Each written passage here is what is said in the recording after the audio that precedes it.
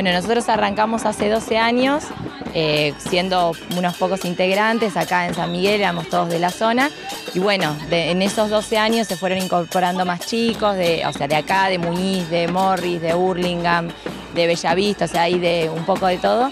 Y bueno, año tras año empezamos a trabajar en lo que era espectáculos, o sea, no solo baile y, ritmo, digamos, sino también un espectáculo con contenido, con canciones, con eh, una crítica, y bueno, fuimos laburando y, y a partir de un determinado momento sentimos que era hora de traerlo al barrio y empezamos con esta propuesta de hacer un corso barrial, un encuentro de murgas en el barrio en donde la gente pueda disfrutar de, todo esto que, armamos y que vuelva a revivir el carnaval.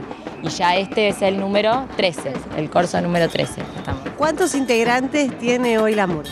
Y estamos entre 25 y 30 más o menos. Tenemos nenes desde un año a... Eh, no sé, no quiere, treinta y pico, jóvenes, jóvenes.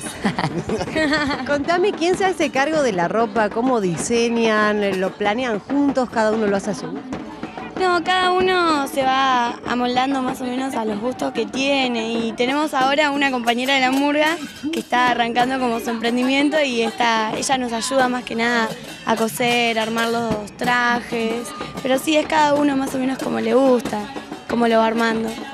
¿Los colores tienen algo en particular? Y en principio, bueno, elegimos, había, en el origen de la murga había muchos hinchas de San Miguel, entonces el, el verde y blanco inicialmente fue por eso, pero bueno, después le agregamos un toque de rojo y negro eh, por gusto, digamos, pero inicialmente, por eso nos llamamos los resacados del trueno, porque inicialmente había muchos hinchas del club.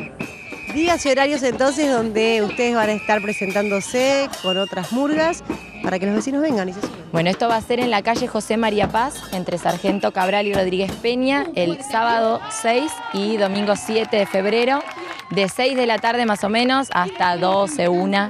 Están, vamos a estar presentando nosotros más o menos a las 10 de la noche, pero desde las 6 hasta esa hora va a haber muchas murgas, bandas, folclore, cumbia, va a haber un poco de todo para todos los gustos, para familiar, gratuito, autogestivo, así que todos los que quieran acercarse están invitados.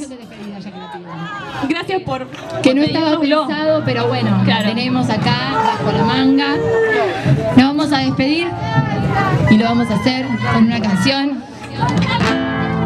Después bailamos, después bailamos todo.